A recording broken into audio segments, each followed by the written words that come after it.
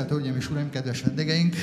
Nagy tisztelettel és sok szeretettel köszöntöm Önöket a Szent István Király Múzeum nevében a Döntés című kiállításunk most következő eseményén, amely az esti beszélgetések sorában a második lesz, Fény és Árnyék címmel fog rövidesen megkezdődni.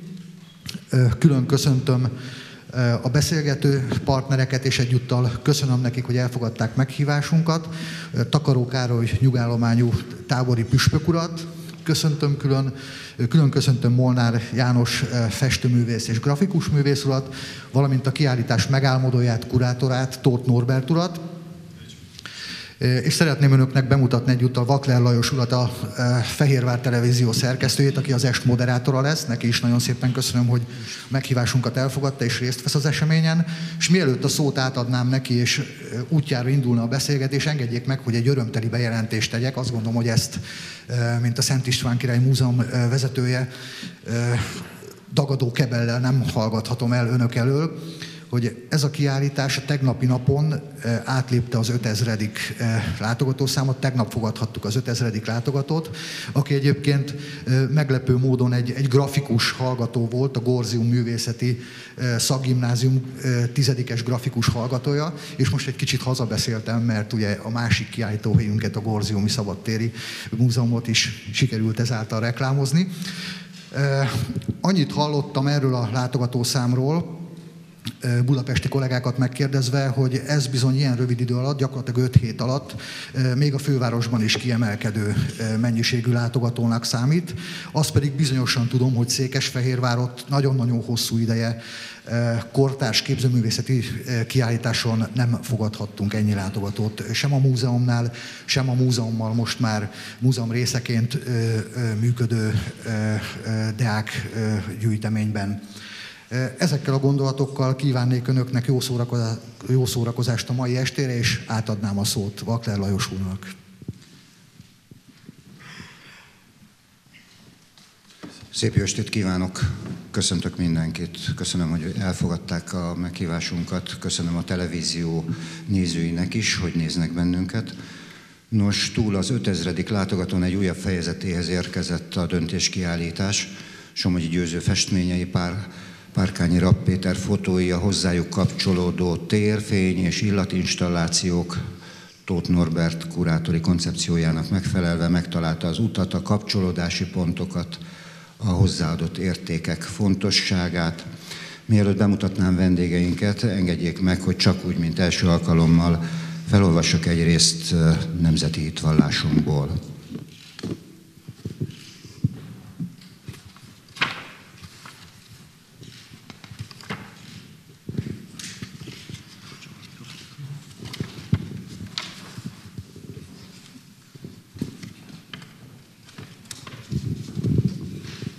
Valljuk, hogy a 20. század erkölcsi megrendüléshez vezető évtizedei után múlhatatlanul szükségünk van a lelki és szellemi megújulásra. Bízunk a közösen kialakított jövőben, a fiatal nemzedékek elhivatottságában. Hisszük, hogy gyermekeink és unokáink tehetségükkel, kitartásukkal és lelki erejükkel ismét nagyjá teszik Magyarországot. Alaptörvényünk, jogrendünk alapja, szerződés a múlt, a jelen és a jövő magyarjai között. Élő keret, amely kifejezi a nemzet akaratát, azt a formát, amelyben élni szeretnénk. Mi, Magyarország polgárai, készen állunk arra, hogy országunk rendjét a nemzet együttműködésére alapítsuk. Imégyen szól. És akkor engedjék meg, hogy bemutassam vendégeinket, főtisztelendő Takaró Károly nyugállományú tábori püspök, lelkipásztor, Tisztettel köszöntjük Pakson Pécset. Pakson Pécset Budapesten gyálon szolgált lelkészként, gyülekezetteremtő, a hittel élő embereket megszólító ember, a Magyar Honvédség első tábori püspöke 1994-től, most nyugállományban lelkipásztori tevékenységét természetesen folytatja. Molnár János egri diákként végzett rajszakos tanár, 1994 óta kiállító művész, grafikus és festőművész, a hagyományok tisztelőjeként a magyar képzőművészet motívumainak őrzője, a Jássági Alkotók Körének alapító tagja, illetve szintúgy a Jássági Képzőművészek Egyesületének szintén alapító tagja és elnöke, a Magyar Kultúra Alapítvány és a Jászok Egyesületének nívódíjasa. Köszönöm, hogy itt van velünk. Tóth Norbert, a tárlat kurátora, aki otthon van, mondhatom ezt talán így, a Forrásművészeti Intézet igazgatója, meg annyi értékteremtő tárlat atya, a döntéskiállítás kurátora. Bevezetőként tőle idéznék, Somogyi győző művészete, mondja ő, az örök titkot rejti, amelyet minden ember magában hordoz, de csak keveseknek adatik meg, hogy összekösse a földet és eget, természetet és teremtőt, hogy megteremtse a szakrális alkotást, mely az életet serkenti, élteti, és képes a kultúrát létrehozni. Tehát tradíció és innováció, fény és árnyék a mai beszélgetésünk alapja. Kezdjük a fényel és az árnyékkal. Magát a gondolat miként fogant meg? Jó estét kívánok, tiszteltek, köszöntöm Önöket. A kiállítás kurátori koncepciója egy alapvető erkölcsi és morális kérdést vet fel. Választást a szépség, jóság, igazság, szentség, vagy pedig a vétkek és bűnök kísértése között. Ez a mai beszélgetés ugye a fényről és az árnyékról szól, mert ahol fény van, ott árnyéknak is kell lennie. És ha ebből az aspektusból vizsgáljuk meg a kiállítást, akkor mondhatjuk azt, hogy ez egy utazás, a kiállítás, egy út, egy profán út, amelynek egyik oldalán, és hát teljesen véletlenül a bal oldalon, a félhomályban meghúzódva látható a fenevadnak 66 állarca rejtett megjelenési formája, ami megszorításában létezik az ember élete folyamán. Jobb oldalon fényben, büszkén állnak megvilágítva a hősök, Attillától Maléter Pálig, mindegy másfél ezer esztendőt átölelve. Persze nyúlhattunk volna korábbra is, és bízunk benne, hogy korunkban is számos hős van, aki megilletne ott a hely. És ha fény és árnyék, akkor az útnak mindig a végén kell, hogy legyen valami olyan cél, ami felé az ember életében halad. Kell egy belső lajtorját építeni, ami által az ember képessé válhat arra, hogy összekösse a leget és a földet, természetet és teremtőt. És itt a fény olyan formán jelenik meg a kiállításon, hogy míg az egyik, ugye a fene volt félhomályba, a hősök megvilágított külső fényben, addig a szentek, a szentség, a szakrális tér, ott belülről világítanak a szentek, illetve Jézus, aki adja a szent koronát, és hogyha a hősök, magyar hősök, és a fenevad magyar motivumok, a busó ábrázolások, akkor a szentjeink is magyarok, mert hát magyarok vagyunk, és milyen más kultúrában merítkeznénk. Itt Árpád ház szentjei és boldogjai találhatók. Úgyhogy a kiállításnak ez a fényárnyék konstellációja, talán ez volna a kurátori gondolaton belül. Nos, ön egyszer úgy fogalmazott, hogy akit szabad akarattal teremtett az Isten, annak a legnagyobb próbatétel, hogy választani tudni kell. Veretes szavak annyi szent. Emlékszem is erre a prédikáció részletre. Amiért elvállaltam, hogy eljövök ide, az éppen ez a hallatlan, provokatív felszólítás volt, hogy dönts. Tulajdonképpen az ember életének minden pillanata egy döntés lehetőség. És ez nagyon jól hangzik, a valóságban azonban rengeteg olyan élethelyzet van, ahol nincs döntés lehetőség. Ugye amikor a szentek kivégzéséről beszélünk, akkor a szentnek egyetlen dolga volt, hogy hitben marad-e, és odaáldozza az életét, és megmarad a fény oldalon, és nem tagadja meg azt, hogy kié volt, kinek élt és hogy élt. Szeretnék néhány szót bevezetőként arról beszélni itt most, hogy Jézus egy olyan mondatot mond ki egy alkalommal, amelyiknek mind a mai napig keresik az igazság tartalmát. Az, hogy igaz, az biztos, csak hogy milyen tartalmakat mondott el vele.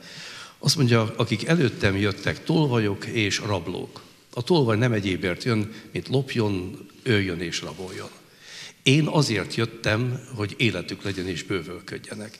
És ha végignézem a történelem sorát Jézus előtt, hogy kiket nevez tolvajoknak, rablóknak, akik az emberi életet tönkretették, kifosztották, akkor az ember gondolata belemerül valami olyan végtelenbe, azt mondja, hogy nincs hatalma megállapítani Jézus igazságának ezt a kijelentését. Ezért keressünk valami közelebbi fogódzót. Nagyon sok ember van, aki a maga véleményével, a maga látásmódjával úgy gondolja, hogy ő maga a világosság.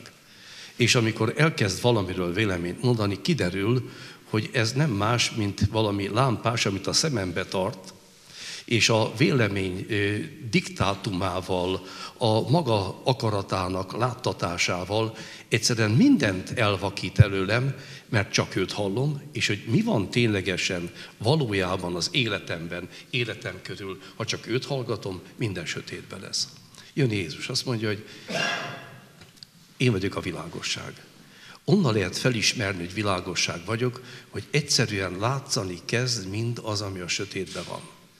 Egyszer csak élővé válik, így történik, hogy egy 38 éve görbet asszonynak azt mondja, hogy, hogy az a lélek, amelyik téged rabul ejtett, a gonosz lélek, a tisztátalan lélek, és görbet állapotba tart, takarodj ki belőle, kiderül, hogy egy, egy ördögi lélek megy ki belőle, és szabaddá lesz az asszony. Senki nem látta, hogy mi van a sötétben, senki nem látta, mert nem volt hozzá fény és ismeret, az életvilágossága pontosan tudja. Ennek a kiállításnak éppen az volt számomra az első nagy üzenete, hogyha bementek és megnéztek, úgy néz ki az a belső tér, mint egy anyaméh. A belsejébe élettel teli, a szentekkel, akik az életüket adták, az életükkel úgy értek, hogy más élhessen belőle. Ami rögtön körülveszi őket, azok hősök, akik egy népért, egy életért, az, az emberért, a magyarért, ha kellett, a vérüket is ontották. És a külső körbe pedig ott van valami 66 titokzatos megjelenítés, és ugye azt mondta valaki, hogy olyan fura, hogy szépek. Hogy ahhoz képest, hogy milyen randának kéne lennie, valami sötét ördögit akar kiábrázolni. Kérem, lehetne csábító az, amin rögtön látszik, hogy randa? Lehetne hitető, amelyikkel látszik, hogy gyilkos fegyver van a kezébe, és akkor követném. Tehát ennek a kiállításnak hallatlan mély üzenetei vannak, és gondolom mindegyiket sorra vesszük, ami ebbe az órába beleférhet. Köszönöm.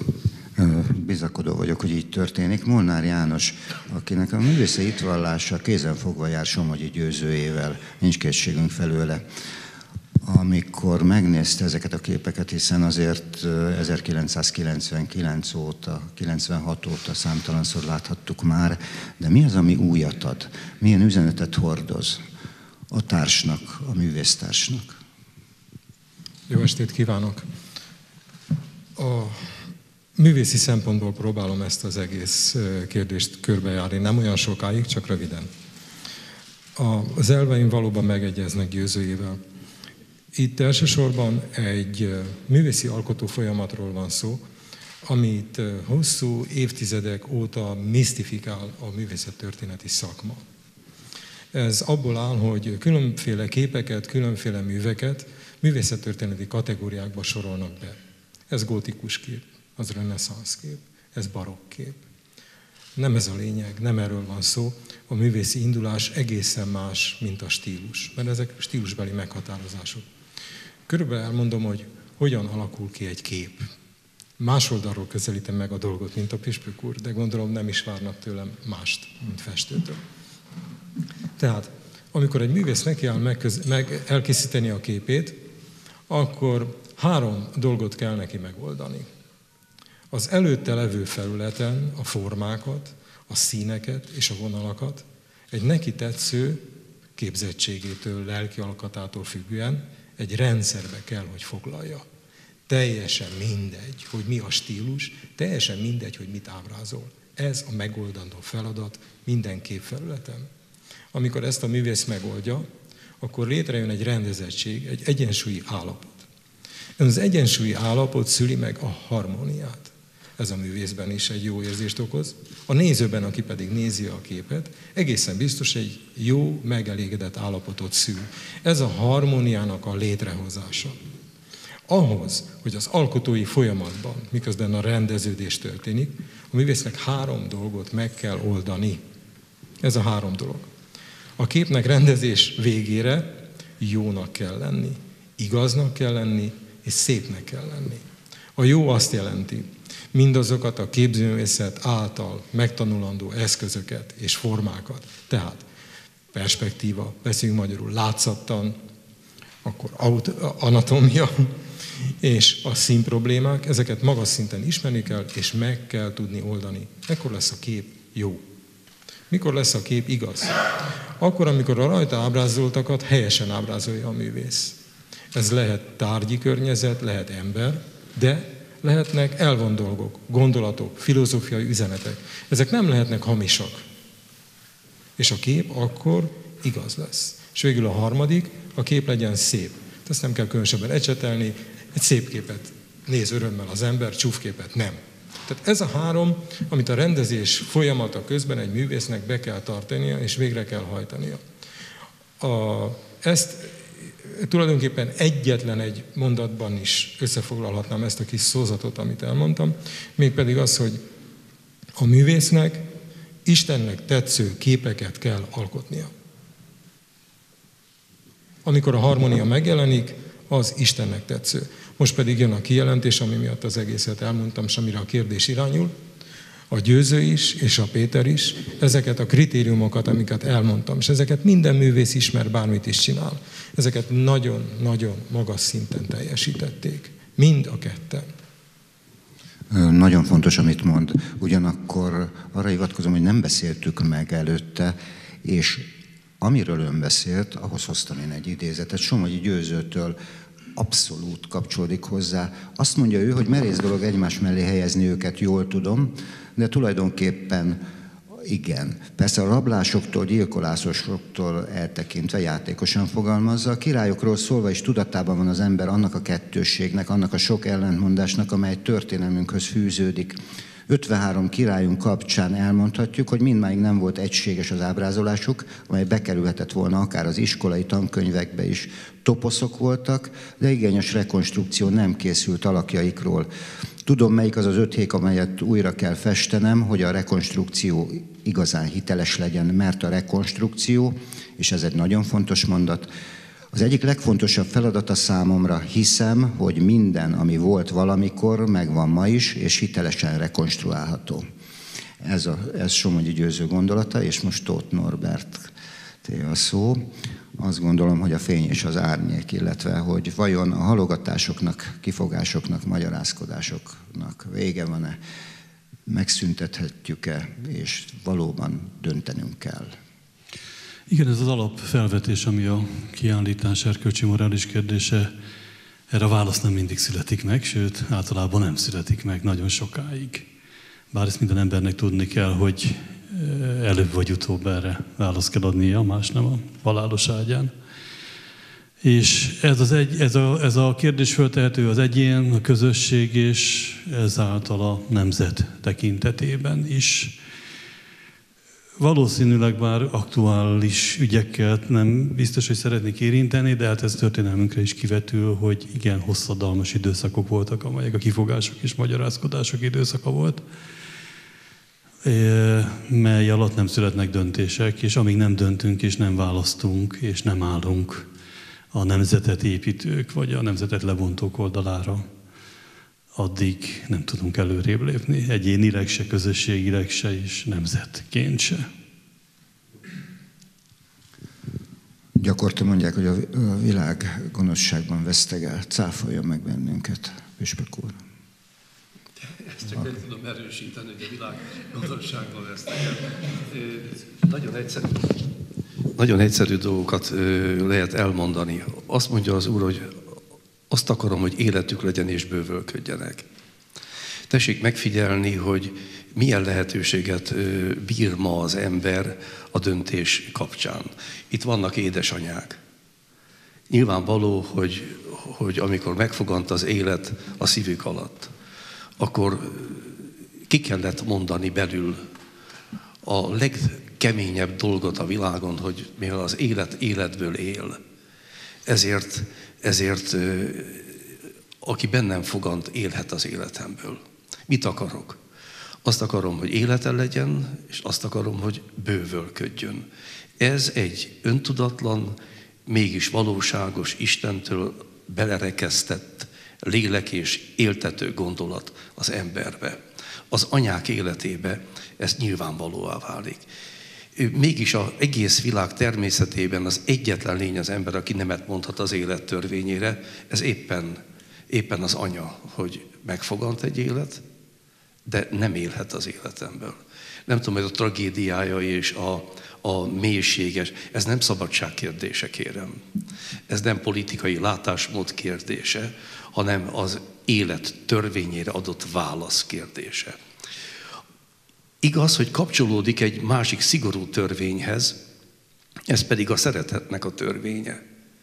Ugye az is mindenki előtt ismert dolog, hogy, hogy szeretni jó, rengeteg gyönyörű, szép dolog született már a szeretettel kapcsolatban, de mérhetetlen egyszerű a szeretet megfogalmazása.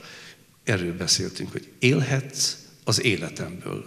Mi a szeretet? Élhetsz az életemből. Ami ennél kevesebb, az nem szeretet. Tessék végig gondolni.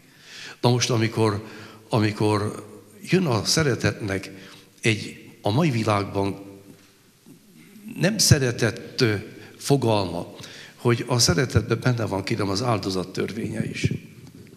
Az összes önző ember, az összes csak az egójának élő ember, mind kivétel nélkül Isten telen ember, aki megtagadott valamit, mégpedig nem kevesebbet, mint hogy Isten, a szeretet Isten ezt ugye elfogadják, akik hisznek Istenbe, hát éppen arról szól a megváltásunk, erről szól az ő országa felállítása, hogy kihív bennünket a sötétségből, az ő csodálatos világosságra, a halálból az életre, és azt mondja az Isten maga Jézusban, élhetsz az életemből. És mikor született benne, így beszél rólad is, hogy örökké való szeretettel szerettelek téged, azért terjesztettem ki rád az irgalmasságomat. És visszatérek a képkiállításnak, az a belső mély szerűségéhez, ahol, ahol ott vannak a szentek, akik, akik éltek az életéből, és akik valami nagyon jó dolgot adtak tovább. Lelkileg is, az egész életük vezetésével is. És jön a nagy kérdés, mi felénk? Merre felé döntesz? Élhetnek az életedből? Mit jelent egy férfi számára ez? Ugye egy nőnél egy, egy részletében világos, és a férfi életében. És itt jön az, amiről, amiről mindig meglátom a külső képsoron, hogy ezek a férfiak lettek valakivé. Ezek a férfiak a létet úgy használták ki, hogy, hogy az élet minőség olyanná legyen. Itt voltak a döntéseik, itt voltak azok a, a vér és élet áldozati döntéseik egy népért, egy nemzetért, a másikért, amelyik, amelyikben a férfi megmutatta, hogy igen, azért lettem valaki. Tudatosan. Azért lettem több, azért lettem műveltebb, azért lettem karakteresebb, mert mindenből akkor adhatok, ha minél többé leszek, te érted. És ebben már nem egoizmus van, hanem valami szent, eltökélt áldozatkészség. Ezért az a jobb ember, aki többé akar, és többé is lesz. Miért? Hogy többet adhasson. Azt hiszük, hogy, illetve bizonyos vagyok benne, hogy ez az éltető igazság. János, a fényről beszéljünk. Mi mindent figyeltél meg most a 26 Árpádházi Szent és Boldog, illetve Jézus megvilágításában, és a külső száz képben. Mi a különleges benne? Mi az, ami egyszerűen, amikor rácsodálkozunk, fenséget adja nekünk? Ugye kollégális szemmel néztem először, és az a szakmaiság, ami mind a két kollégából sugárzik, az lenyűgöző volt. És most a benyomás. Amikor végignéztem a kiállítást, akkor a végeredmény döbbentett meg. Hogy ott áldogáltam, és néztem, és az jutott eszembe, hogy itt vannak ezek a csúf ördögök, és ezek a rosszak, és milyen rosszul néznek ki, és milyen félelmet keltőek tulajdonképpen, és mégsem ez uralkodik bent a teremben. Nem a gonosz, nem a rossz. Mert ezek a hősök, akik ugye kívülről látszódnak, ezek valami olyan elementáris erőt sugároznak. Olyan jóságot és tisztaságot, hogy teljességgel kiszorítják az élettérből oda a perifériára, ahol Norbert tette őket, oda a falra, oda valók. Nem tudnak tulajdonképpen győzedelmeskedni, nem tudnak belépni az életbe.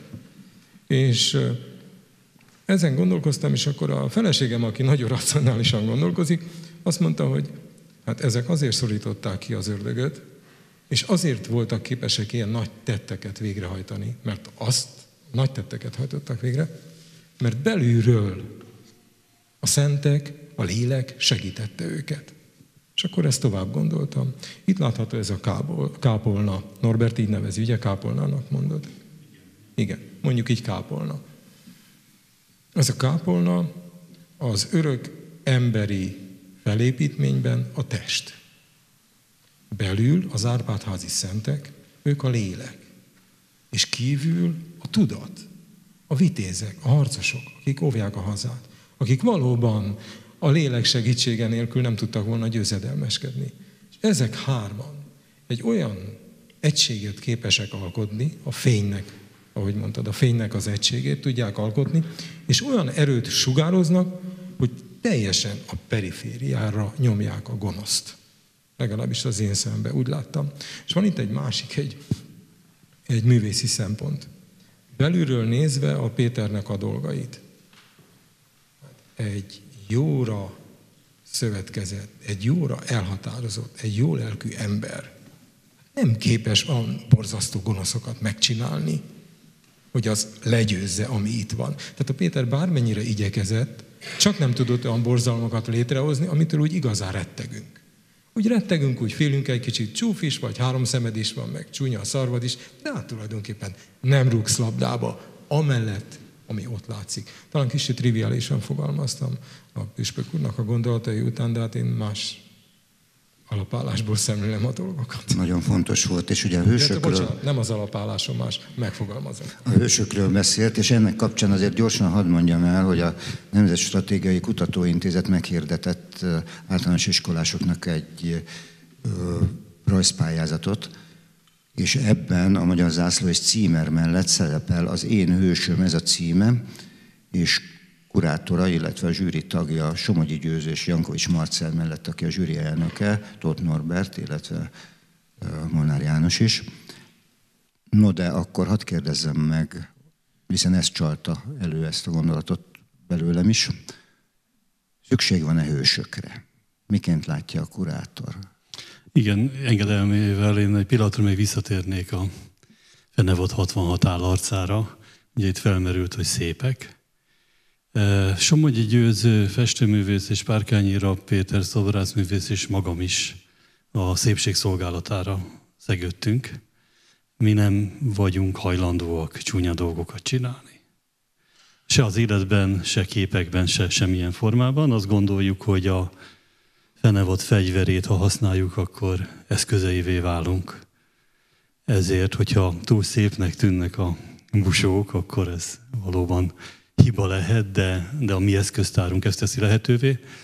De hogyha a középkorban nézünk szét, a középkori szakrális alkotásokon a kárhozott lelkektől az ördögig mind gyönyörűen van megfestve, e, mert hogy nem feltétlenül ez az egyetlen módja annak, hogy az üzenet eljusson.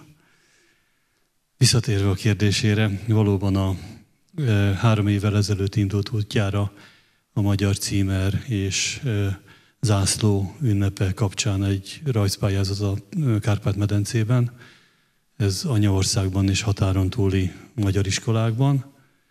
És ebben az esztendőben a Stratégiai Kutatóintézet Szászján elnök úr támogatásával egy ponton kapcsolódik ehhez a kiállításhoz, ahol a hős fogalma is, mint tematika felmerül.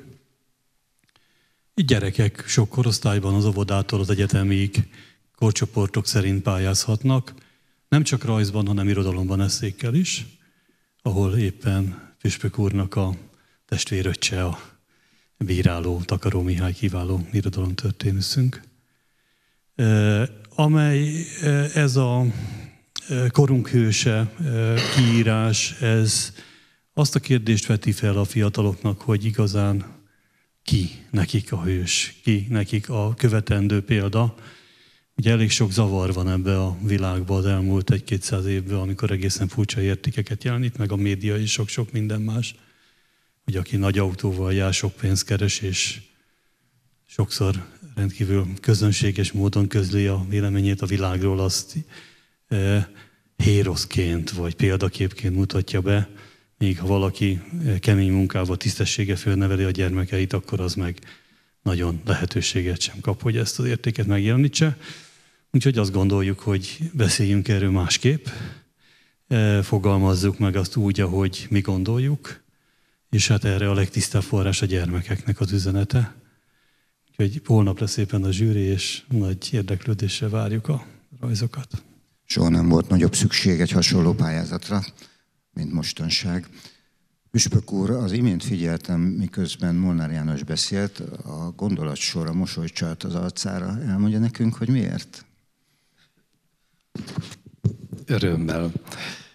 Ha ennek a kiállításnak van üzenete, már pedig van üzenete. És éppen arról, hogy az életpárti fény, világosság a erejével, a maga hatásával mit vált ki egy emberből, aki végignézi. Én csak egy igét hoztam ide ma. Az a csak egy ige, az nem a ige miatt csak, hanem hogy egy. Mert az Isten beszéd az élet beszéde. Aki itt vagy, végig fogod gondolni, hogy és mit tehetek én? És ő meg azt mondja, hogy ó, roppant egyszerű az akaratom, áldást parancsoltam melléd áldást. Úgyhogy élhetsz az életemből, mondja az Isten, és megadom a lehetőséget, hogy te is éltető lélek és éltető értelem légy, akinek nyilvánvaló, hogy van fölfelé kapcsolata, Isten szent lelke és igéje vezeti az életét, áldást parancsoltam melléd. És itt nincs kicsi vagy nagy. Fölhívtak telefonon, hogy három napja haldoklik a kisgyerekük. Ez a, ez a járvány, ami elkapta, és az édesanyja nem aludt három napja, ott van benne a kórházban. És azt kérdezték, hogy és Isten ilyenkor mit üzen? És akkor imádkoztam. Nagyon egyszerű dolog ez, te is megteszed. És az volt a, a válasz, hogy mondd meg az apának, hogy nem nemzesz korai halálnak. Ez az üzenet. És egy nap múlva kaptuk a hírt, hogy a kicsi gyógyul. Az apa elmondta a feleségének, áldást parancsolt a szó mellé az Isten, és a felesége egészen másképp ad hálát az Úrnak, hogy a gyerekük megtartatott.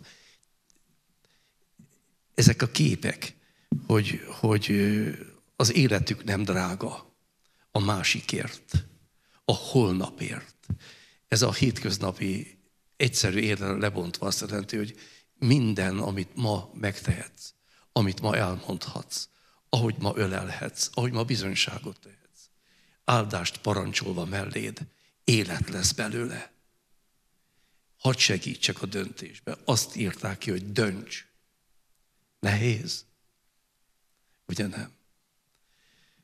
Ez a mosolygásra volt csak igen, a mosolyom. Néha igen, máskor nem. János, a, én azt gondolom, hogy méltatlanul kevés szó esik Párkányira Péterről. Ha tér, térjünk egy kicsit vissza rá, hiszen a profán utat szimbolizáló Muhácsi búsói, bár azt hiszem, hogy húsagyok uh, nincs csúnya búsó, azt abban megegyezhetünk. Nos, a essék szó azokról a képekről is, amelyek, a, imént, ahogy mondtam, a profán utat szimbolizálják. Ez egy nagyon kényes téma. A busó téma. Busókat mindenki szereti, mert érdekesek, mert látványosak.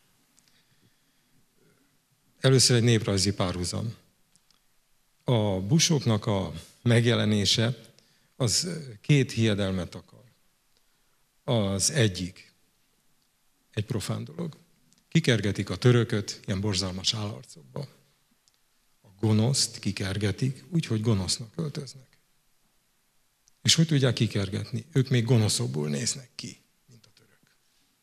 Pedig ez nagy dolog, mert a török az csúf dolgokat csinált. A másik pedig, nézzük meg a néprajzi vetületét. Magyarországon, sőt Kelet-Európában is mindenhol vannak tavasz váró, tél űző szokások. Ez tulajdonképpen azt jelenti, hogy az emberi lélek úgy elfárad a télben, kimeríti az erőtartalékait, szellemi és testi erőtartalékait. Ilyenkor szoktunk megbetegedni a legjobban, a legnehezebben. Az egész természet, az állatok és az emberek várják, hogy vége legyen ennek a borzalmas sivárságnak, ennek a terméketlenségnek. A mindenfajta mitológiában a tél a halál. És itt a halál legyőzhető, hiszen jön a tavasz. Elősegítse az embert a tavasz, e- ezek valami nagyon-nagyon régi képzetek lehetnek. Azért, hogy az ember elősegíti a tavasznak a létrejöttét, elkezdi elűzni a telet, és erre kitalál egy rituális szertartást. Ezeket ilyenkor csinálja tél végén, tavasz elején. És érdekes módon mindig bejön a télőzés. Nagyon jól tudta az ember, hogy mikor kell csinálni, mert általában a télőzési szertartások után minden esetben több ezer évre megérkezik a tavasz. Tehát, tehát van egy ilyen jellege is. Ennek az alakoskodásnak, amit a mohácsiak csinálnak, van egy párhuzama, méghozzá Erdélyben.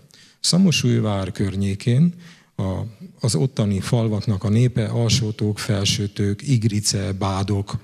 Ezek a, a falvakban van egy régi szokás. E, román nevét ismerjük csak, az a neve, hogy turka. Turka azt jelenti, hogy kecske. Ez gyakorlatilag úgy néz ki, hogy a falubeli legények egy alakoskodást csinálnak a faluban. Ez, ez a legény feltesz a hátára egy kifordított bundát, busó kettő. És tart egy botot, a botnak a végén egy, egy fantázia fej van kifaragva, onnan tudjuk, hogy kecske, hogy szar van neki. De ugyanakkor ennek a kecskének hosszú csőre van, mint egy gólyának. És ennek a csőrvégről rengeteg szalag róg le. Tehát delikvens magára húzza a bundát, megtartja ezt a botot, amin rajta van a kecskefej, és sok szalag, őt nem lehet látni ezért.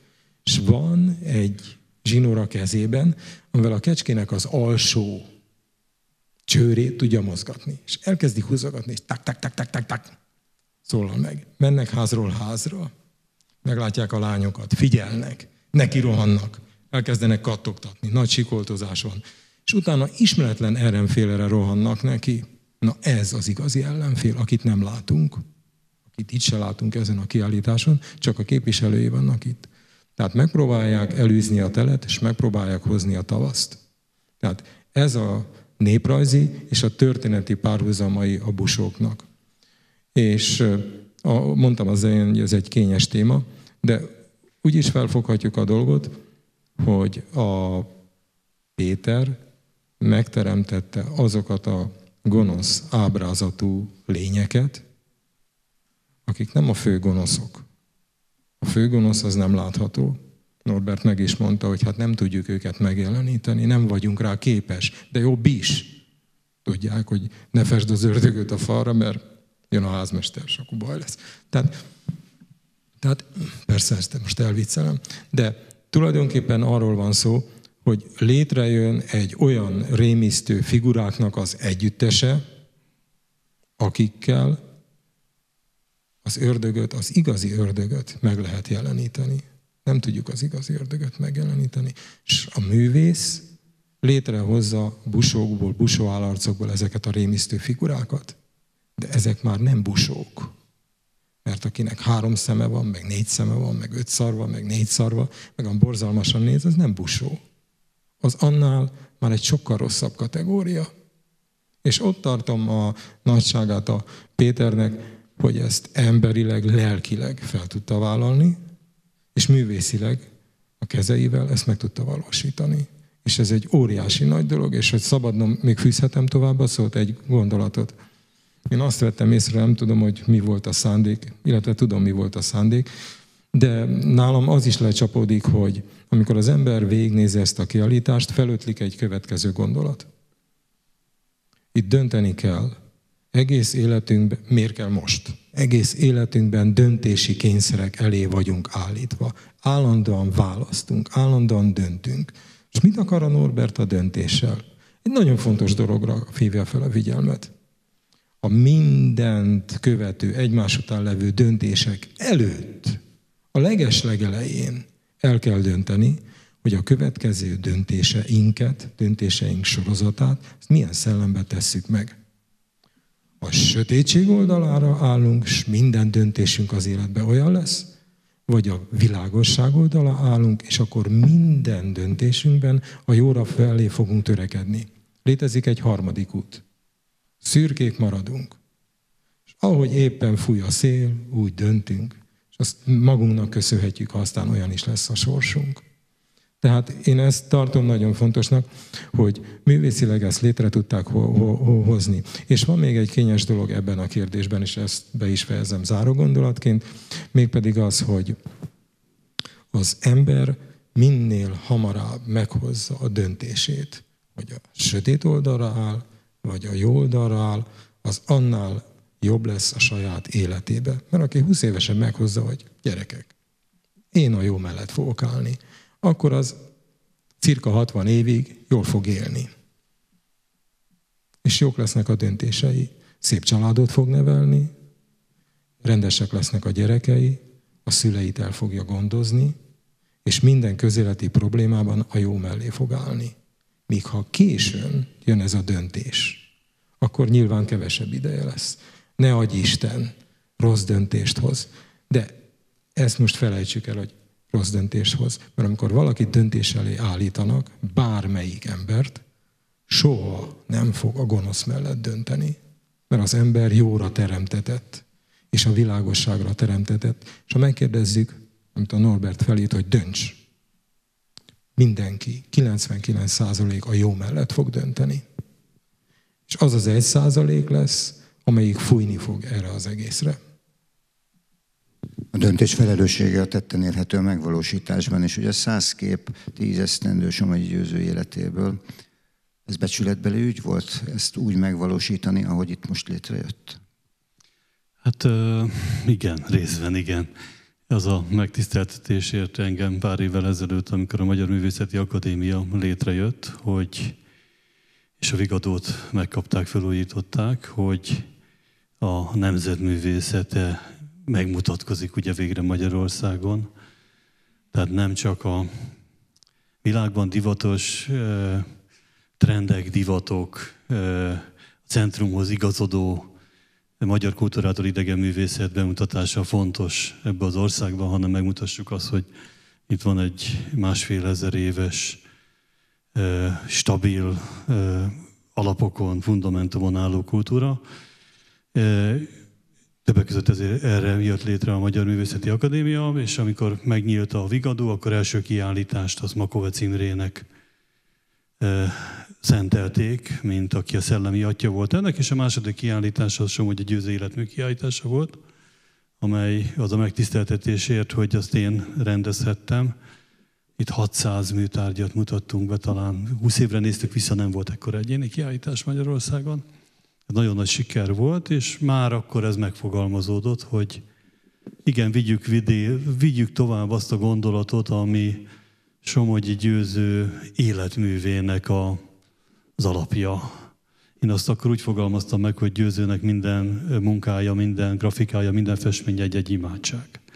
Ami aztán vizuális formát ölt, és rendeződik valami hatalmas nagy ikonosztázba egybe, ami megemeli a magyar emberek, a magyar nemzetnek a lelkét, és valami közösségbe kovácsol bennünket.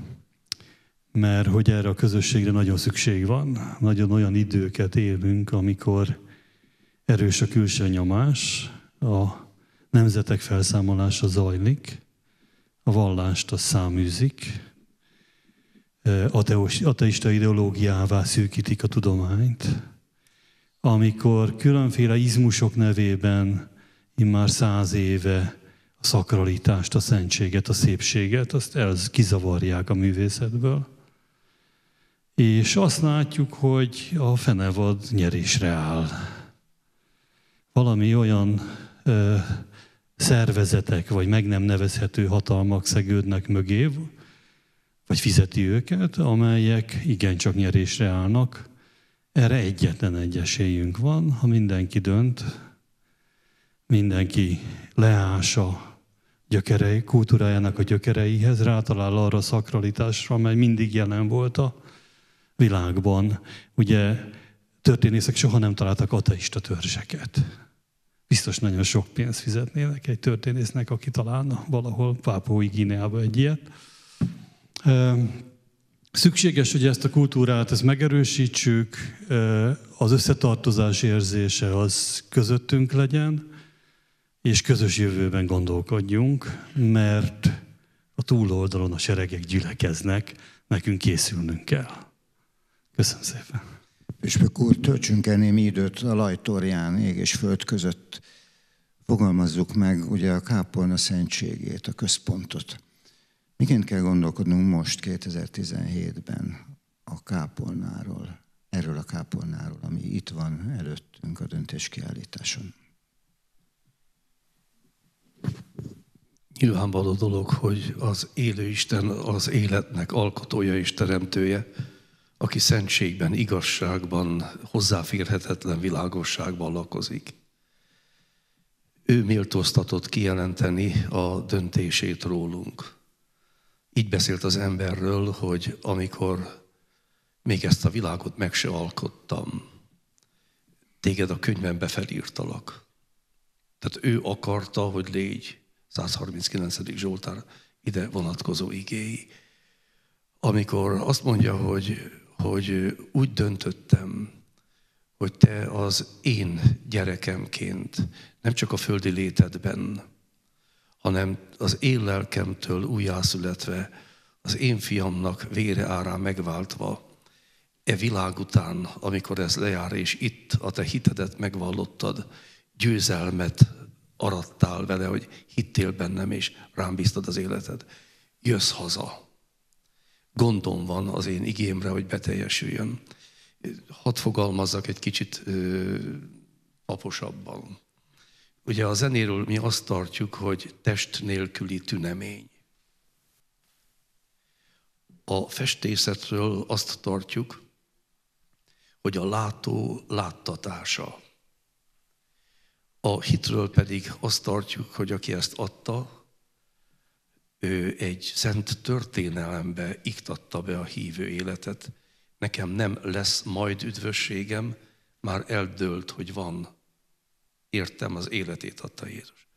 A kápolna az azért fontos hely itt a Földön, mert mindig az élő Isten jelenlétéről beszél, a szentségnek jelenlétéről beszél, ahol az ember elcsendesedhet, vele kapcsolatot tartat, az ő lelke és az ő embernek az imádság által. És újból és újból ezt tör elém ez a mondat, hogy mert téged választottalak magamnak örökre az életre, ezért te is engem választhattál. Mert megismertettem magam vele. Köszönöm szépen. János, milyen az alkotóművész kápolnája? Most ezek után mit mondja? Hát úgy körülbelül elmondtam, hogy én mit látom ebben, de közelítsük meg festészeti oldalról, jó? Ezek a képek, amik itt láthatók, ezek a titokzatos tojástempera nével vannak illetve. A régi görögök, egyiptomiak enkausztikát, viasz, tehát ez egy viasz technika. Viaszfestést alkalmaztak. Ez azt jelenti, hogy a pigmentet forró viasszal fogták össze, és úgy kenték fel valamire. A temperafestés, a viaszfestés utáni azonnal megjelenő eljárás Közép-Európában. Ez azt jelenti, hogy van a pigment, ami egy őrlemény, egy por. Ez a por keletkezhet kristályokból, kőzetekből, illetve hát az ember megtöri. Keletkezhet megszállított és porra tört állatokból, és keletkezhet növényekből. Tehát természetnek az alkotó részei vannak benne a pigmentben. Most megjelenik a művész, és azt mondja, hogy ezt a pigmentet festhetővé, kenhetővé kell tennem. Ekkor jelenik meg a tojásfestés. A tojásfestés mit jelent? Az, hogy a tojást ketté ütöm, a fehérjét kicsorgatom, addig mosogatom a sárgáját, amíg az a nyálkás rész el nem tűnik róla, megcsipentem a tetejét, az életburkát, és kiengedem a sárgát egy edénybe. Utána töltök bele bort, megfelelő arányban, egy rész tojás, két rész bor különben, összerázom, és meglett az emulzióm. Ez a pigmenttel összevegyítve, ez adja a tojás temperát. Mire festek? Vászonra. A vászon miből készül? Gyapotból, lemből vagy kenderből. Szintén természetes anyagból. Vagy régi festők festettek fára is, hát az is természetes anyag. Tehát a festészetnek a, az alapvető felállása és alapvető eszköz használata az egy szakrális jellegű. Nem mindenki nyúlhatott hozzá ezekhez a szakrális anyagokhoz. Például azt mondja 1555-ben a Kievben az ortodox zsinat. Körülbelül így hangzik, nem tudom pontosan lefordítani szóról szóra, de az értelme a következő lesz. Aki tud fejet és környezetet festeni, az fessen. Aki nem tud, az ne foglalkozzon ezzel. Nem lehet mindenki festő. Az Isten számtalan más foglalkozást teremtett még. Lehet abból is választani. Tehát kiválasztott, nem papi kiválasztottságról van szó, amikor valaki festő, de valami hasonlóról. Nem lehet mindenki az. Kell hozzá tehetség, kell hozzá képzettség, és a képzettség, most nyúlok vissza, a képzettség foglalja magában az anyagoknak az ismeretét, már pedig ezek szakrális anyagok. Az alapvető anyagok közé tartoznak, és ez nem mindegy, hogy ki az, aki hozzányúl. Győző, olyan ember, akinek van joga ezekhez az anyagokhoz hozzányúlni, ő neki van joga temperával festeni, ő neki van joga az alapvető életanyagokkal dolgozni, mert olyan kiválóan tudja ezeket használni. Miért tudja? Mi az eredmény? Ugye mindenki látja, hogy a hősök, most a, a szentekről nem beszélek, mert azt a Norbert úgy akarta, hogy belülről jöjjön belőlük a fény. Tehát nem megvilágítva vannak, hanem belőlük jön a fény. Most nézzük csak a, a vitézeket, a hősöket. Azon kívül, hogy meg vannak világítva, azért egy nagyon fényes, nagyon magasztos külsővel bírnak. Ez a színekből adódik. A győző olyan sárgákat használ, hogy azok világítanak olyan fehéreket világ, használ, amik szintén világítanak. És ezt úgy éri el, hogy nem használja az idegen, természet ellenes színt, az aranyat. Az arany az természet ellenes szín, mint között helyén van. Tehát nem használja az aranyat, és mégis úgy ér el egy földön túli sugárzást, egy földön túli jelenlétet, ezekkel a színekkel, hogy ilyet csak ihletett és avatott művész képes rá és egy egészen kiváló eredmény, nem tudom elég egy, a győzőt dicsérni. 40 év óta ismerem, több-kevesebb megszakításokkal barátkozunk, beszélgetünk egymással, mindig ugyanazt a következetes szemléletet hozza, mint 40 évvel ezelőtt. A tehetsége alapján egyre jobban feljödik, szellemileg és szakmailag egyre nagyobb szinteket képes teljesíteni. Én csak azt tudom, kedves fehérváriak, hogy jöjjenek el és nézzék meg, mert a győzőnek olyan magas szintű a teljesítménye, hogy ez, ez csontvári szint. Ez csontvári szint. Kapcsolódó kérdés Norberthez.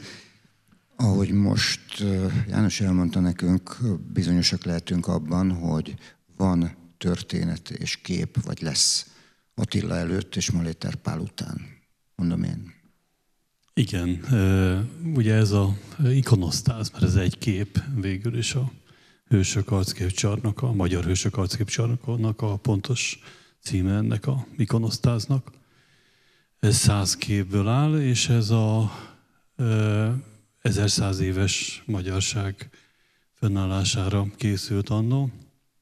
Akkor ez bemutatásra is került, bár rég volt ez a történet, de azért egy-két szó erejéig lehet, hogy érdemes megemlíteni ezt a, és mint történelmi tényt említem meg, tehát nem politikai tartalmával. Ez az MSZP SZDSZ kormány alatt kerül a Néprajzi Múzeumba kiállításra, amit a megnyitó előtti éjszaka a kulturális állam, vagy kulturális miniszternek az utasítására az igazgató megcsonkít, és nyolc képet levetett belőle, amely aztán egy hosszú per lesz, és a per végén peren kívül győzik meg a győzködik a győzőt, hogy egyezzen meg, mert tudják, hogy elvesztik a pert, mert hogy ugye egyik anosztász nem lehet megcsonkítani, nem lehet kivenni belőle képeket. A vicc a dologban az, hogy a második világháborús egyenruhában szereplő személyeket vették ki, függet, és ugye ott elég közel van az első világháború, és aki mondjuk a második világháborúban e, szerepet vállalt, mint katonahősként, de első egyenruhás egyenruhát tett rá a győzőt, azok maradhattak, szóval még annyi fáradtságot se vettek, hogy személyeket végig megnézzék. Ilyen értelemben is ez egy nevezetes alkotás. Aztán az akkori köztársaság elnök a ikonosztáz előtt fog kezet a győzővel, és úgymond követi meg ezért a képcsonkításért. De hát visszatérve arra, hogy ez a száz kép, ez azért száz, mert akkor erre az alkalomra száz készült, de jeleztük, vagy jelezni kívánjuk a kiállításon, hogy az első és az utolsó kép hiányzik a ikonosztát felrakásánál, hogy Attila előtt is voltak hőseink, eh, ahhoz, hogy a világ egyik legnagyobb irodalmát Attila létrehozhassa, és azt a nagy álmot, ahol a eh, nyugat, közép és kelet hun törzseket egyesítse, az, ahhoz valamit előtte kellett tenni a magyarok elődeinek, hogy ez létrejöhessen, és hát azt gondoljuk, hogy Maléter Pál után is vannak hőseink, mert hogy itt vagyunk a Kárpát-medencében, minden racionális érve ellenére, évszázadok óta, minden törekvés ellenére, és a fenevad mindenféle próbálkozás ellenére, egyre erősebben, egyre bátrabban, egyre inkább tudva, hogy kik vagyunk és mik vagyunk, egyre erősebb hittel, és azt gondolom, hogy a kiállítás végére egy gondolatot tettünk Pió atyától, hogy Magyarország egy olyan kalitka, honnan még egyszer egy gyönyörű madár fog kirepülni, hogy ez kötelességünk, hogy ezt beteljesítsük, ezt a jóslatot, de hát ezt csak úgy tudjuk, hogyha egymásba kapaszkodunk. Így Illetve legyen. talán még egy gondolat, hogy reflektáljak Püspök úr gondolatára is. Én azt gondolom, hogyha jó Isten a emberekre bízta a földet, akkor azt a Kárpát-medencét azt a magyarokra bízta, és nekik a küldetésük és a kötelességük, hogy ezért felelősséget vállaljanak. Bizonyos be vagyok benne, hogy így van. Püspök úr, önt is egy összegzésre kérem, annál is inkább, hiszen ők megcsinálták, hogy úgy legyen.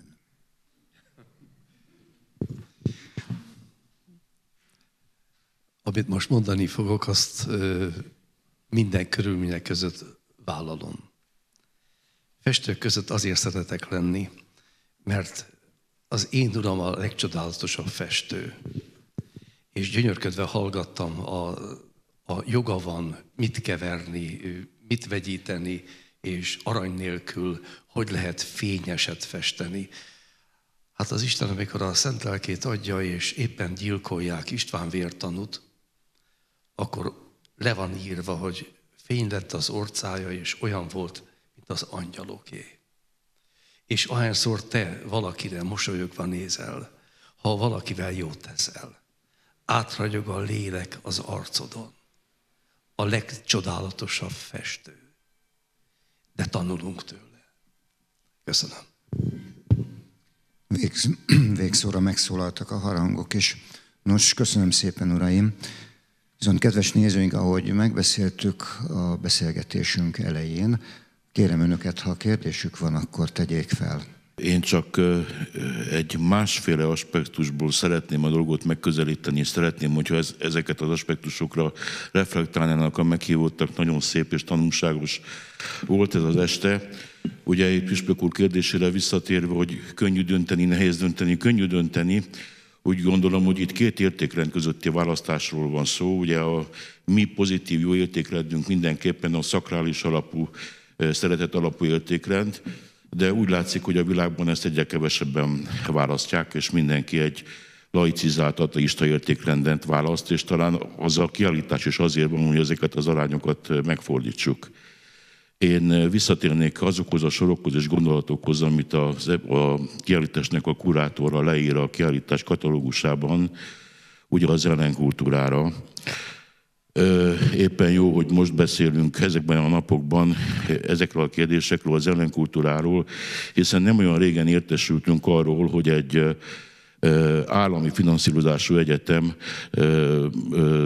társadalmi nemek tanulmánya szakot indít az ELTE a ősztől, vagy Gender Studies néven, és akkor indíthatna természetesen egy demográfiai vagy családügyi szakot is, az utóbbit nálunk a Somogyi Győző munkái képviselnék, ugye a rosszat pedig a fotók képviselnék, és nem kérdés, hogy mi melyiket választanánk.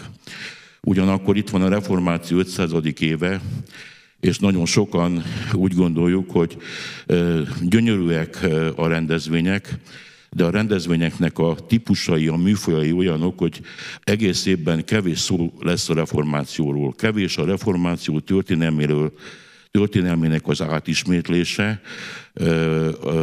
a reformáció jelentőségének az értelmezése, egyféleképpen rávetítve a mai világunkra, a mi fiatalainkra, hogy ebből a pozitív gondolatokat kiválasszuk, utat mutassunk nekünk, nekik egy jó értékrend felé hiszen tele vagyunk kulturális, gazdasági és politikai búcsúlevelekkel. Különböző szavak vannak ezenek, ezeken a leveleken, például Willkommenskultúr, ugye?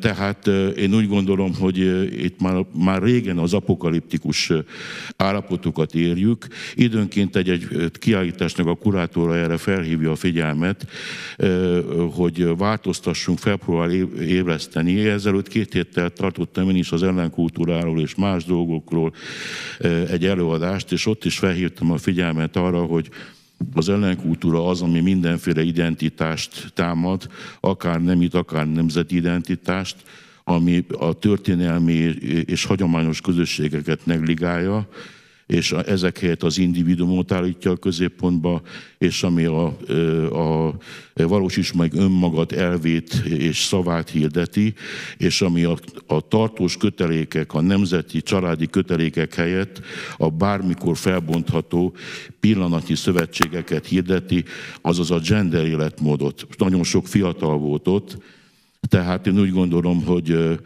itt a reformáció évét is valamire, valami másra is fel kéne használni, és szeretném, hogyha ezekre a kérdésekre, tehát ellenkultúra a művészetekben, laicizált társadalom, ateizmus és a reformáció jelentőség, hogyha reflektálnának, és nagyon szépen megköszönöm önöknek ezt a szép estét, és természetesen Makler Lajosnak is köszönöm a türelmüket.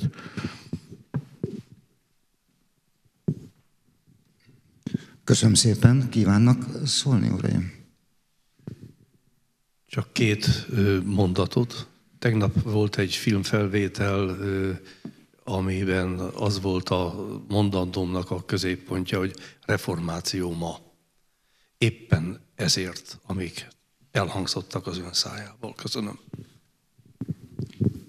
Talán én is egy mondatot mondanék. Én egész pici gyermek voltam, amikor édesapám azt mondta, hogy megkérdeztem tőle, hogy hogy tudok különbséget tenni a, a bennünket építő vagy lebontó emberek között, és azt mondta, hogy nézd meg, hogy ki az, aki a békenség teremtők tetteit hordozza, és ki az, aki a békétlenség keltők szavait. És azonnal látni fogod. És ezt egész kiskoromban felismertem. Köszönöm. Van még kérdésük?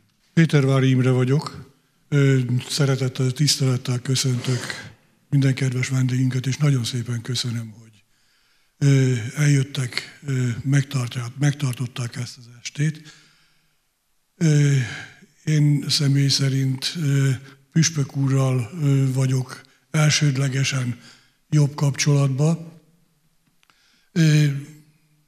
Köszönöm azokat a gondolatokat, amiket itt átadott nekünk. Tudjuk, hogy ezek a gondolatok föntről jöttek, az ő szájába adott, adatottak, ezért különösen köszönjük a kegyelmes Úristennek is ezt. Egy kis profán dolog, amikor püspök úr püspök úr lett, akkor jött a találós kérdés, hogy mi a különbség a Hornyuszi meg a Hegedűs Lóri között. Az, hogy a Hornyuszinak egy nyűjt gönce van, a Hegedűs Lórinak meg három jó takarója. Az egyik itt ül. A másik csinálja a tévébe a ö, takarótőkéckit, azt is nagyon szépen köszönjük, Isten után nekik, és van még a Tamás testvéred, aki apósomnak volt káplánja egy időben, úgyhogy elnézés, de a, a, a családok közötti kapcsolat is. Nagyon-nagyon, még egyszer mondom, nagyon szépen köszönjük ezeket a gondolatokat. És csak azt tudom kérni az Úristentől, hogy őrizze meg sokáig minnyájukat ebben a lendületben, ebben az akarásban, amiben most vannak. Egy kérdésem volna, mikor jönnek legközelebb? Köszönöm szépen!